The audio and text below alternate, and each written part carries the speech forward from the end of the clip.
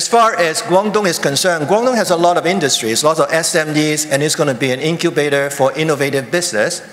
But Guangdong does not have an international financial center. So if Guangdong combined with Hong Kong, Hong Kong, which is a financial center, this is going to be a very powerful, powerful combination where innovative ideas can, be, can have financing.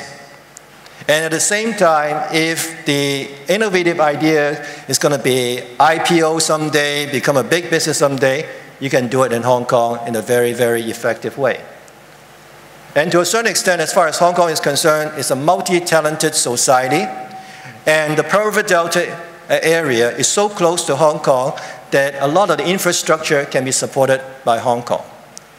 For example, as far as HSBC is concerned, we're going to, we, I just told you, I just told you that we're going to be uh, expanding in the Pearl River Delta, and I, we're going to be, we're going to have four times the, the, the, the, the staff and so forth. But how are we going to train these staff?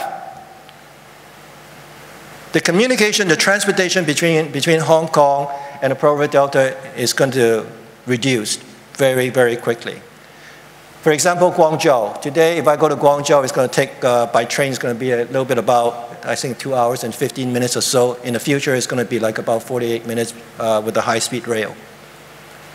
And many of the other uh, cities in, Guang, in Guangdong and the Pearl River Delta, the traveling time will be reduced. So it can be easily supported by Hong Kong in terms of infrastructure, in terms of talent, in terms of the uh, software, in terms of knowledge, in terms of, in terms of legal and so forth.